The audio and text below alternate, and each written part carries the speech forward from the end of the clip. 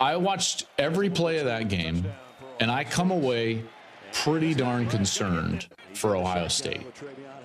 Generally speaking, though, the offensive line did not play well. The run game was, I didn't think, very good.